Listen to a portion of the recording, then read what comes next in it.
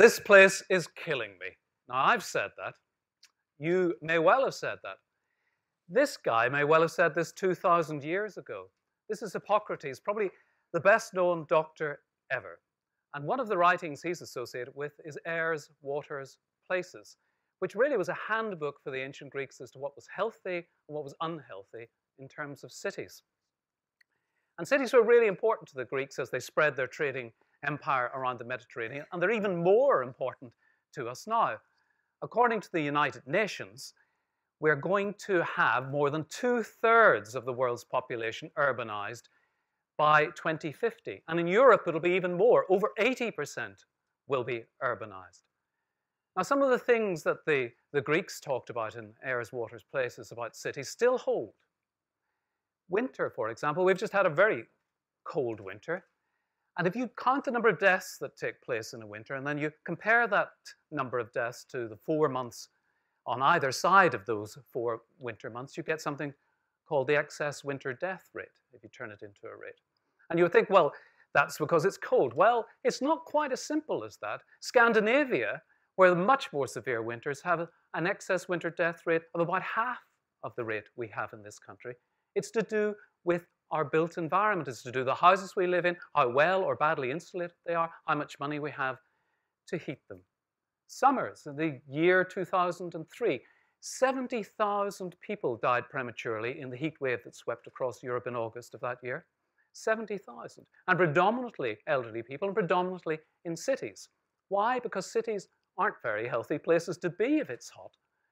On average, across the whole year, cities can be up to three degrees warmer than the surrounding countryside. And during a heat spell, a hot spell, an e in an evening in a city can be 12 degrees hotter than the surrounding countryside because of all the concrete and all the tarmac and the lack of trees and green spaces. Air quality, the Greeks cared about as well. Now, we may think we've got air quality solved. We don't burn coal on our fires anymore, and we don't have smogs anymore. But we do have microparticulate pollution all around us. And about 13,000 people die prematurely in the UK because of air pollution from combustion. And majority of that combustion is from motor engines, and guess where that pollution is worse? It's in our cities. So we can do some things about this, can't we? One of the things I do, I cycle a lot, but we don't actually make it very easy. Now, this is about 50 meters from my front door, and I cycle along this road regularly. And those who cycle will recognize uh, that this cycle lane has two characteristics that they will have come across themselves. One is it's very short. This is about 20% of the entire length of this cycle lane. And secondly, in common with very many cycle lanes, it comes to an end at a junction or a roundabout just when it might be useful to you.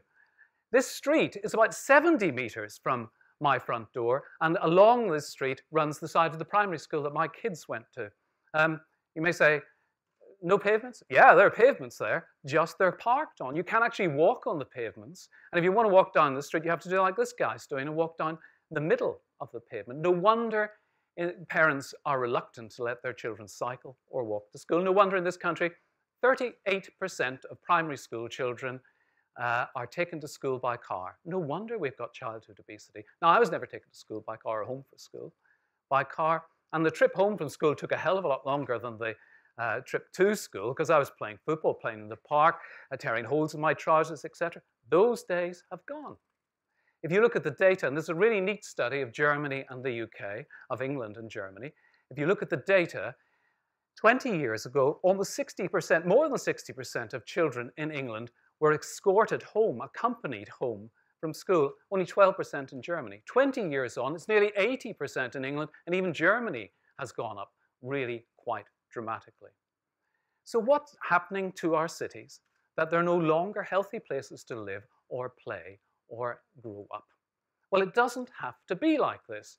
This is Freiburg in southern Germany, and Freiburg a university city going back a thousand years, and it has recreated itself. It's removed the motor traffic from its city centre, and it sets about building places that are fit for people to live healthy lives in.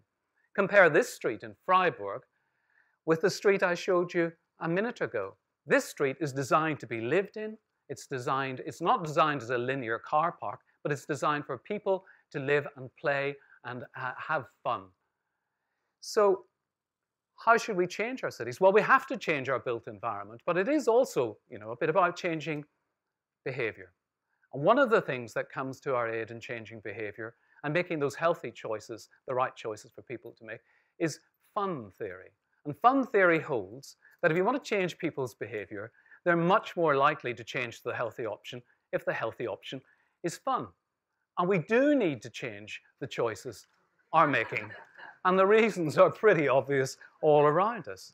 Um, here's a really good example of uh, fun theory.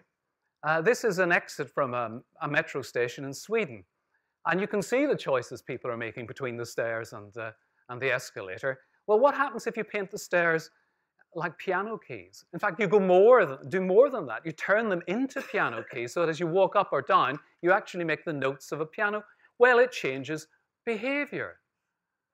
What about this absolutely gorgeous flight of steps in Germany? Who wouldn't want to walk up that flight of steps?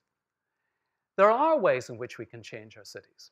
One thing is very, very clear to me, that we can't have healthy people in sick cities. And our job is to set about changing our cities and turning them into places where we and our children can live safe, sustainable, and healthy lives. That's our job, and I'm very, very sure we can do it. Thank you very much.